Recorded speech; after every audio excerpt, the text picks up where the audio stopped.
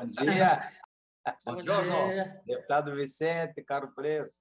Bom dia, bom dia a todos os senhores deputados, deputadas, estimados catarinenses que acompanham esta reunião. Já estamos eh, a postos e ao vivo para a nossa reunião ordinária da Comissão de Saúde da Assembleia Legislativa de Santa Catarina.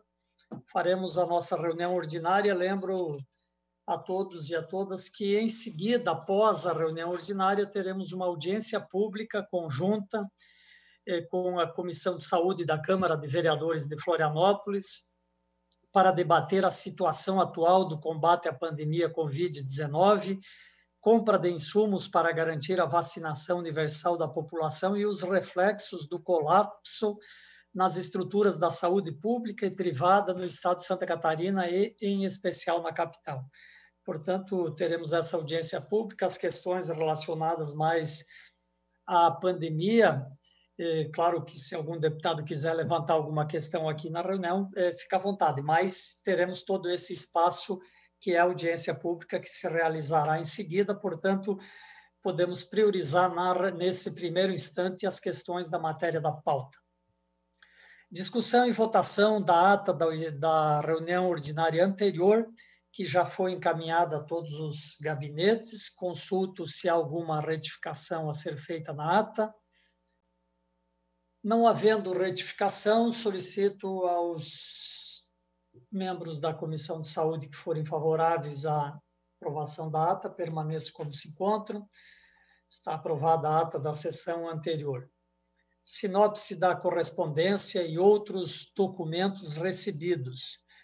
Temos o ofício 88-2021, de autoria do Sindicato dos Trabalhadores em Empresas de Telecomunicações de Santa Catarina, o Sintel, que, por ser os trabalhadores de telecomunicações serviços considerados atividades essenciais para a economia, atendendo às necessidades imediatas de conexão de toda a população, requerem que, dada a definição da gratuidade da vacinação, entende-se que com a inclusão dos trabalhadores de instalação e telecomunicação e operadores presenciais de teleatendimento como grupo prioritário a receber a vacina, o quanto antes ainda no primeiro semestre de 2021, visto que dessa forma será possível manter os serviços de telecomunicação, de instalação e manutenção de rede. Portanto, é um é um pleito lá de, do Sintel para que sejam incluídos como grupos prioritários, tem vindo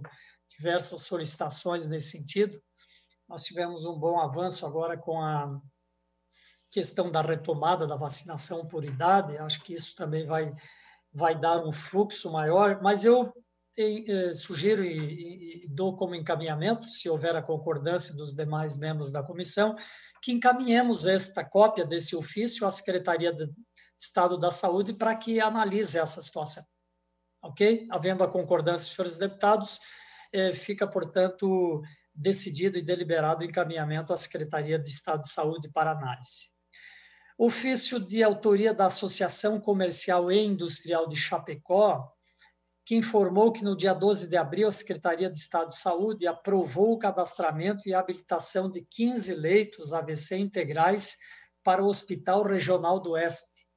Informaram, informaram ainda que, apesar da habilitação, os leitos é, AVC pelo governo do Estado de Santa Catarina, o Ministério da Saúde ainda não aprovou a efetiva habilitação dos leitos solicitando dessa forma que seja questionado junto ao Ministério da Saúde a urgente aprovação da habilitação pretendida, bem como a correspondente transferência dos valores relativos aos serviços já prestados.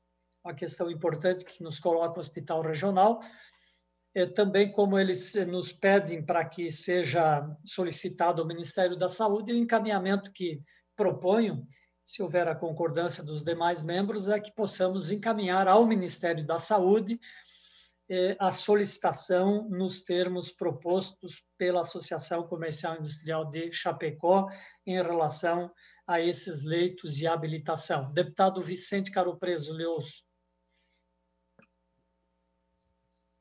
Deputado Sareta, presidente Valdir Cobalcini, eventualmente outros deputados que estiverem presentes à reunião, eu sugeria que fosse mandado também para o Fórum, Fórum Parlamentar Catarinense, porque, assim, situações às vezes graves não são apenas de, de cunho, vamos dizer assim, administrativo, né? mas nós precisamos sempre de alguma figura pública, algum parlamentar da área, né, que possa agilizar essa situação. Então, vai aqui o meu pedido né, para ser avaliado aí, para a gente mandar para o Fórum Parlamentar e também de outras coisas que vão aparecendo aí que a gente tem que e pode, e eles querem que sejam adicionados, acionados. É isso. Ok, acho importante isso também. Ah, de minha parte, é a concordância. Solicito se alguma outra manifestação nesse sentido de algum deputado. Concordo também, presidente. Ok, obrigado, deputado Valdir Cobalcini, deputado Jair Mioto, deputado Maurício Kudzilak, também com a concordância, damos esse encaminhamento. Vamos encaminhar, então, ao Ministério da Saúde e também vamos encaminhar ao coordenador do Fórum Parlamentar Catarinense. Temos ainda o ofício 92-2021, eh, de autoria da Associação Brasileira de Câncer, Cabeça e Pescoço, que solicita um debate via audiência pública para apontar o caminho do paciente ao processo de reabilitação fonatória e pulmonar, indicado na diretriz aplicada pelo Estado de Santa Catarina. É, como outras solicitações nós recebemos nesse sentido e demos o encaminhamento de convidá-los para vir numa das nossas reuniões ordinárias, eu proponho aos senhores deputados é, que demos esse encaminhamento, atender esse pedido, no sentido de que eles venham a uma das nossas próximas reuniões ordinárias e façamos esse debate solicitado. Sem formalismos, né? Sem Exatamente. Fica, sem, o, fica... sem o, a, a, montagem de uma audiência pública propriamente dita, mais direto. Ouçamos, portanto, o, o clamor que, que a entidade tem. Sejamos objetivos. Ok, é, coloco em deliberação os deputados que, que aprovam esse encaminhamento permaneçam como se encontram. Ok, fica aprovado então. Vamos entrar na ordem do dia. Nós temos requerimento de autoria do deputado Vicente Caropreso, que requer seja ouvido nessa comissão de saúde o secretário de Estado da Saúde, é, senhor André Mota Ribeiro, na qual explane sobre quais as medidas que o Estado de Santa Catarina está tomando para o enfrentamento de uma terceira onda da pandemia 2019. Coloco em discussão o referido requerimento. Deputado Vicente Carapres. Senhor presidente, senhores deputados, eu acharia extremamente interessante é, e importante para que a sociedade catarinense, nós, parlamentares, pudéssemos ouvir do governo do Estado o que está acontecendo de, em termos de iniciativas e perspectivas em relação a, por exemplo, treinamento de pessoal para a área da saúde, reposição de materiais e instrumentos usados nas UTIs, é, o kit anestésico, que é de intubação, enfim, uma série de, de fatores, e principalmente a vacina, quais são as perspectivas do Estado em relação a essa situação. Então, acho que pode ser feita uma resenha pelo secretário e a gente possa debater exclusivamente esse tema que tanto nos assusta ainda, com números que estão variando, né, pelo número de ocupação de, de leitos de UTI no Estado, não resta a menor dúvida de que a gente tenha que pontuar sempre esse, esse assunto. Né? Então, fica aí a sugestão, espero aprovação. Obrigado, deputado Vicente Caro Preso. Continua em discussão o requerimento. Deputado, deputado Jair Mioto e depois deputado Valdir Cobalcini. Deputado Jair.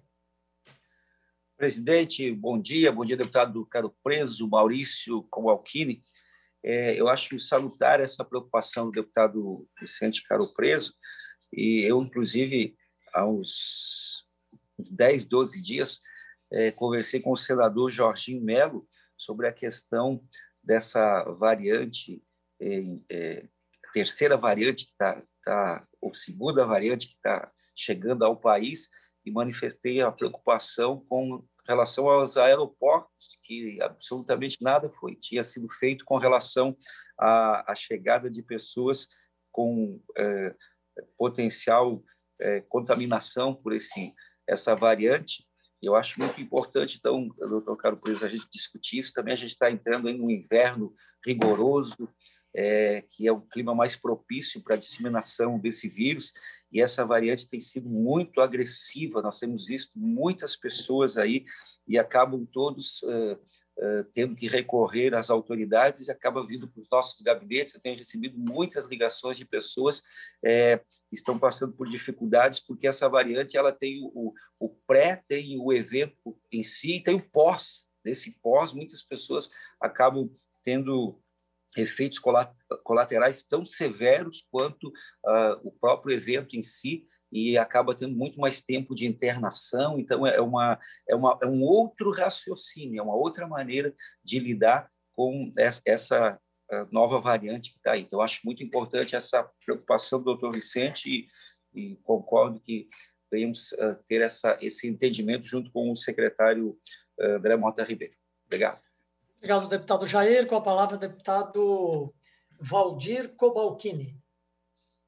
Presidente Sareta, o deputado Vicente, quero concordar é, com o seu requerimento, é importante. É, a gente está, sim, muito preocupado, ainda que não tenhamos, talvez não estejamos vivendo ainda a terceira onda, mas eu já estou bastante preocupado com este momento. Eu vejo que a taxa de letalidade é, ainda é bastante grande e, e daqueles é, é, que são daqueles que são entubados, me parece que é, eu, eu falo pela minha cidade, eu não tenho os números de outras cidades, mas é quase uma sentença de morte. São poucos os que saem é, com vida. Isso nos preocupa muito. E o que, que a saúde como é que a Secretaria de Saúde vê isso? Né? O que está é, acontecendo? Então, eu acho que, sim, esse convite ele deve ser feito é, para que compareça o mais rápido possível, para que a gente possa ouvir né? e também expor as nossas preocupações. Obrigado, deputado Valdir Kowalkini. Continua a discussão. Não havendo mais quem queira discutir, coloco, portanto, em votação o requerimento propondo eh, esta questão de, da, da ouvida do secretário André Mota Ribeiro. Os deputados que, que aprovam permanecem como se encontram. Está aprovado. Temos ainda requerimento de autoria do deputado Sargento Lima, que requer a realização de uma audiência pública conjunta com a Comissão de Finanças e Tributação com o objetivo de debater a estadualização da folha salarial do Hospital São José, no município de Joinville, num percentual de 30%, com data e hora a ser definido posteriormente. Portanto, é um pedido de audiência pública em conjunto com a Comissão de Finanças, que já aprovou, é, pelo que tenho conhecimento, o requerimento nesse sentido, coloco em discussão. Não havendo a deputado Vicente Caro Preso, Excelência, com a palavra. É, deputado, ainda há pouco eu falei com no mesmo hotel que estávamos é, hospedados aqui, a, com o Sargento Lima. Sargento Lima, de Joinville, ele sabe que o Hospital São José, do município de Joinville, portanto, hospital municipalizado, totalmente pago, inteira, integralmente SUS, sem nenhuma outra fonte de renda, é só o erário municipal que mantém um dos maiores hospitais de Santa Catarina e eh, Joinville tem eh, como apoio um hospital particular, que é o Hospital Dona Helena, e o Hospital o Hospital Betesda, Piraberaba. Fora isso, tem mais três hospitais mantidos 100% pelo Estado, né, como o Hospital Infantil, Géser Amarante, a maternidade Darcy Vargas, uma das maiores do estado, e o hospital já regional Hans-Dieter Schmidt, ou seja, recebe uma fatia boa do estado em termos de manutenção dos hospitais, né? Ele pode e quando ele pede que 30% dessa folha do Hospital São José, do município de Joinville, seja pago pelo Estado, realmente é, é, não é uma conta pequena, é uma conta realmente.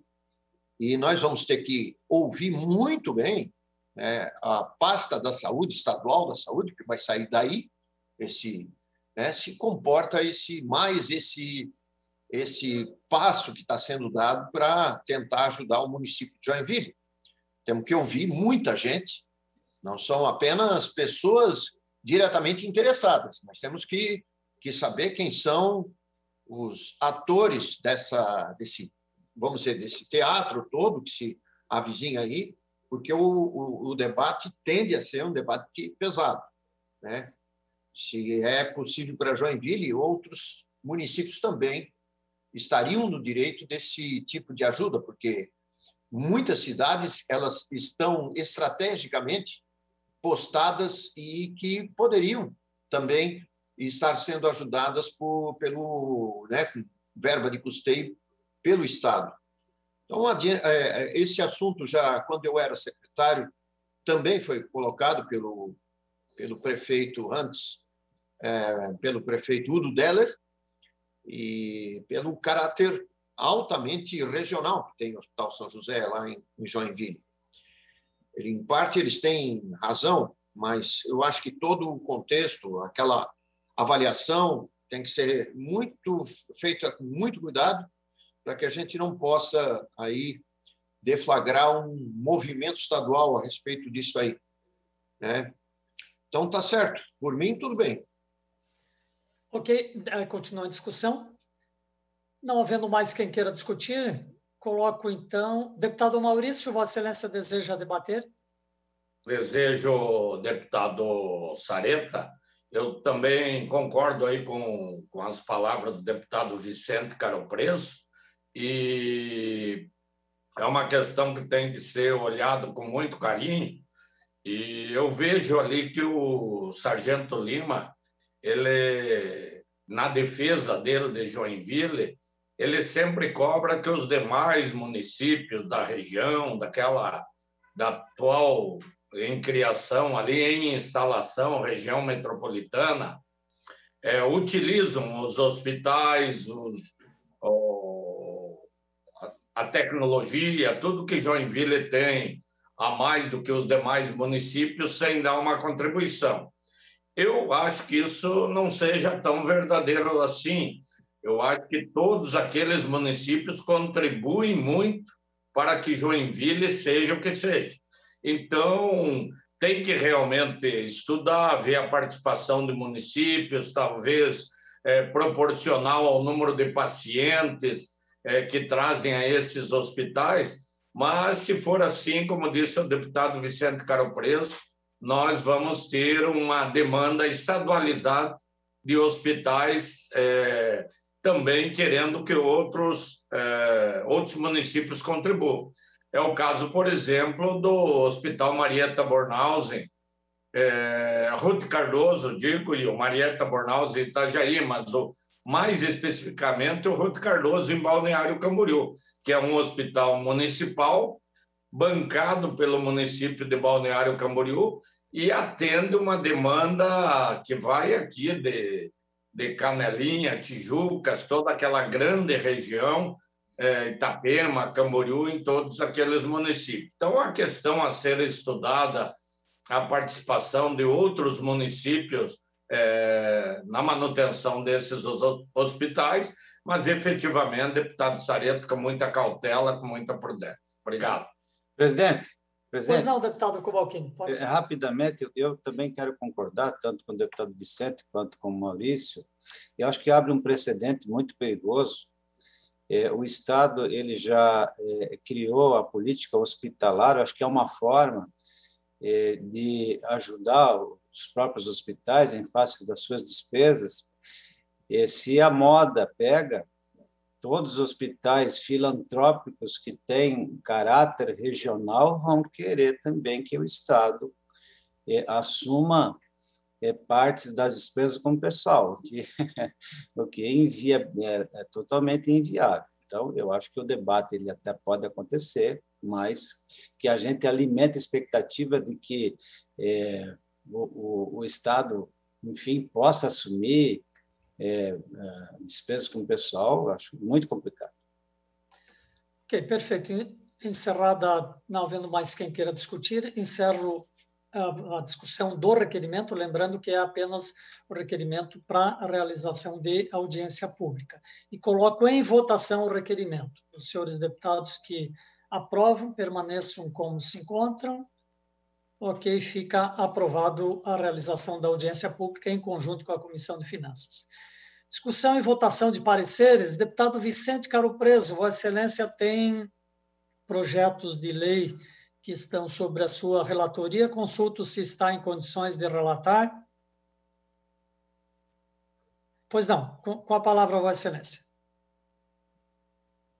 É, farei o relatório agora e voto ao projeto de lei 434.1 de 2019, que obriga os hospitais públicos a possuir equipamentos adaptados ao atendimento aos obesos mórbidos, de autoria deputado Jair Mioto e esse deputado relator.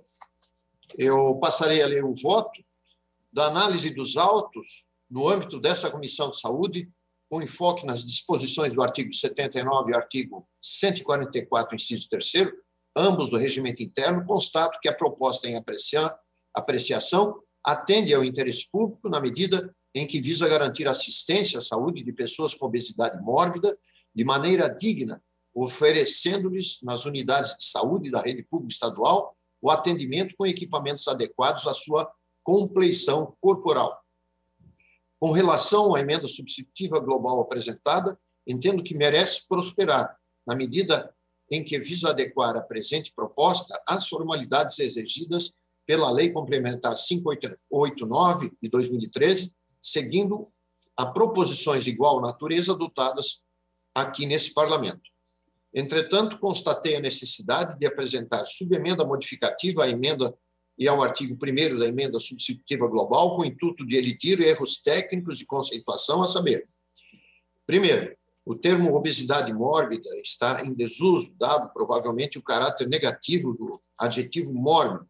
Observe-se, por exemplo, que as pessoas com outras doenças em estágio grave não se usa como referência o termo mórbido, do que se pode inferir a carga de discriminação atribuída à obesidade, pois, como é sabido, costuma-se responsabilizar as pessoas que sofrem de obesidade por sua doença, como se lhes faltasse força de vontade para emagrecer, ou como se a doença fosse resultado exclusivamente da compulsão por alimentos supercalóricos. Por essa razão, propomos a utilização do termo obesidade de grau 3 ou obesidade grave. E, dois, como o propósito do projeto de lei é de promover o dever de adequação de equipamentos utilizados nas unidades de saúde da rede pública estadual à compleição corporal dos pacientes com obesidade grave ou de grau 3, entendo que não há razão para se descrever, no parágrafo único do artigo 1 os outros graus de obesidade, 1 e 2, pois não se referem à obesidade grave, ou seja, aquela denominada de grau 3. Ante o exposto, entendendo superada a discussão da juridicidade da matéria no âmbito da Comissão de Constituição e Justiça, artigos 146, inciso 1 e 149, parágrafo único do regimento interno da Assembleia Legislativa, voto com base nos artigos 79, concordância com 144, inciso 3 209, inciso 3 do mesmo diploma regimental no âmbito dessa Comissão de Saúde pela aprovação do projeto de lei 434, ponto 1 barra 2019, na forma da emenda substitutiva global página 6, com a subemenda modificativa à emenda substitutiva global, em que apresento em anexo. Subemenda modificativa à emenda substitutiva global ao projeto de lei. A emenda e o artigo 1 da emenda substitutiva global ao projeto de lei 434 passam a ter a seguinte redação. Dispõe sobre o dever de os hospitais, clínicas, laboratórios da rede pública estadual disponibilizar equipamentos adequados ao atendimento de pessoas com obesidade grave. Artigo 1 os hospitais, clínicas, laboratórios da rede pública estadual de saúde devem disponibilizar em suas instalações equipamentos adequados ao atendimento de pessoas com obesidade grave. Parágrafo único. Para efeitos dessa lei, considera-se pessoa com obesidade grave a que se enquadre na classificação estabelecida pela OMS, correspondente ao grau 3, índice de massa corporal acima de 40 kg por metro quadrado. Sala das Comissões, deputado Vicente Caropreso, relator. Está em discussão o parecer ao projeto de lei 434.1/2019, com a palavra deputado Jair Mioto, autor, inclusive, do referido projeto de lei. Senhor presidente, eu quero agradecer ao doutor Vicente Caro Preso por aprimorar essa iniciativa, uma vez que tem sido um problema, uma situação recorrente e que atinge grande parte da nossa população, um problema não só do nosso país, mas de muitas nações. E eu creio que esse projeto eh, vem como uma, uma, um alerta, estamos nos, nos eh, eh, precavendo de uma situação que tem realmente trazido muita dificuldade para, eu diria que boa parte da população, eu não lembro de cabeça agora os números, mas eu creio que quase metade da nossa população passa por essas situações, e bem pontuou o deputado Vicente Caro Preso, é, a grande maioria nada tem a ver com a, a, questão da força de vontade da pessoa, mas com vários fatores é, desse nosso mundo pós-moderno, aí passando até por questões emocionais. Então, agradeço o deputado Vicente por aprimorar esse projeto e nosso nosso foco é que as pessoas possam ter essa atenção. Eu tive inclusive algumas experiências de pessoas que fizeram contato com o nosso gabinete e que vieram a óbito, doutor Vicente, por, claro, não, não diria que foi por falta desses equipamentos, mas que houve eh, várias dificuldades no atendimento e que acabaram estressando o próprio paciente, a família, eh, por essa dificuldade de ter os, os equipamentos adaptados. Eu creio que com esse projeto nós estamos prevenindo e salvando vidas. Muito obrigado, doutor Vicente. E peço a todos os colegas que possam nos acompanhar aí na aprovação. Obrigado. Obrigado, deputado Jair. Deputado Vicente, Vossa Excelência quer fazer mais um complemento? Eu, eu acho que esse projeto é importante também para prevenção de acidentes de trabalho, né?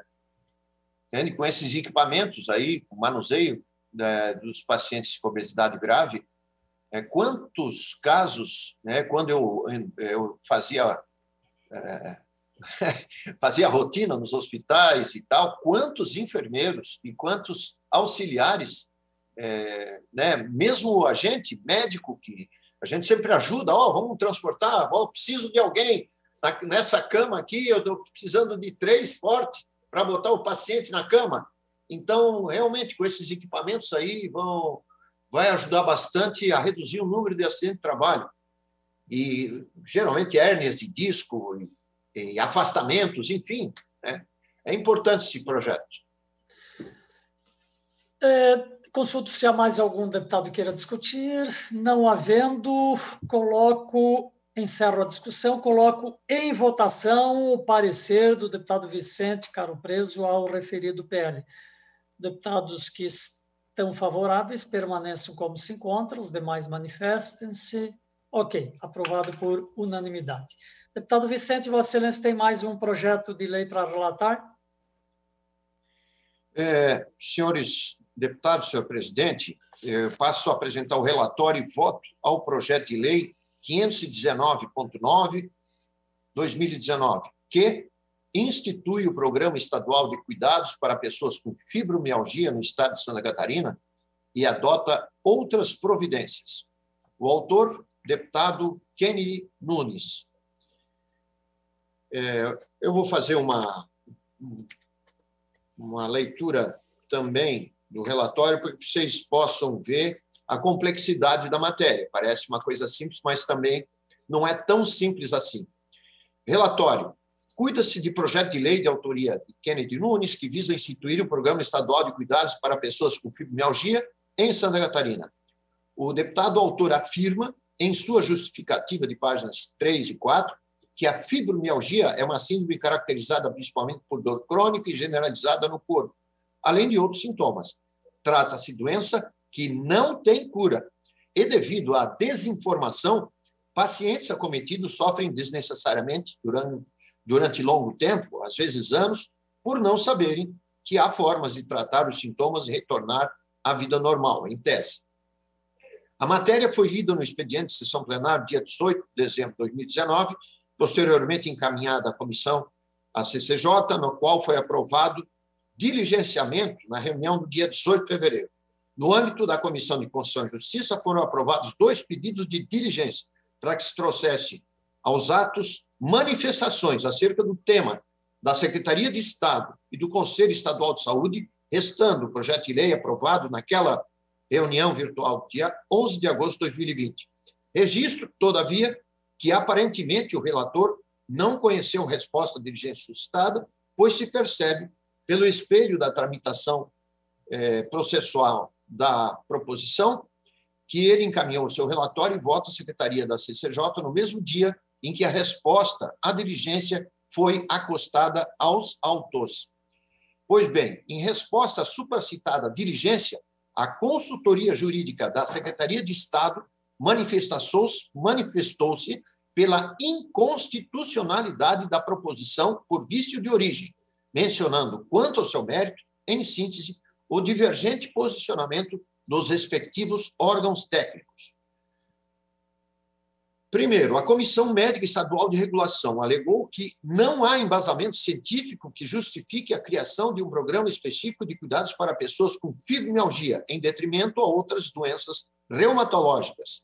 E, segundo, por sua vez, o Conselho Estadual de Saúde mostrou-se favorável ao projeto de lei, vez que a inexistência de um protocolo apropriado para o atendimento de pessoas com fibromialgia ocasiona prejuízos devido à demora do diagnóstico e tratamento adequados, o que interfere diretamente na qualidade e na dignidade de vida das pessoas acometidas por essa síndrome. Em seguida, a matéria foi também aprovada na Comissão de Trabalho, Administração e Serviço Público, dia 7 de outubro. Por fim, o projeto de lei foi distribuído a essa Comissão de Saúde, na qual fui de, é, designado por sua relatoria, na forma regimental, em que, por tratar-se de tema complexo e por existirem, obviamente, outras patologias que também são prioritárias, solicitei diligência à Sociedade Catarinense de Reumatologia para que se manifestasse sobre a matéria, a qual, até a presente data, todavia, não obteve êxito. É o relatório. Voto. Da análise dos autos do âmbito dessa Comissão de Saúde, com enfoque nas disposições dos artigos 79 e do artigo 144, inciso 3 ambos do regimento interno, constato que a proposta em apreciação atende ao interesse público na medida em que visa garantir a, a atenção integral às necessidades da pessoa com fibromialgia, priorizando o diagnóstico precoce, atendimento multiprofissional e acesso aos medicamentos e tratamento, contribuindo, assim, com a saúde e bem-estar desses pacientes. Para além disso, embora entenda que existem várias patologias que merecem atenção prioritária, como bem fundamentado pelo Conselho Estadual de Saúde, não se pode desconsiderar que as informações sobre a fibromialgia no Brasil ainda são pouco divulgadas, o que tem atrasado o adequado diagnóstico e postergado indevidamente o tratamento, razão pela qual se entende que a política pública pretendida tem importância inestimável.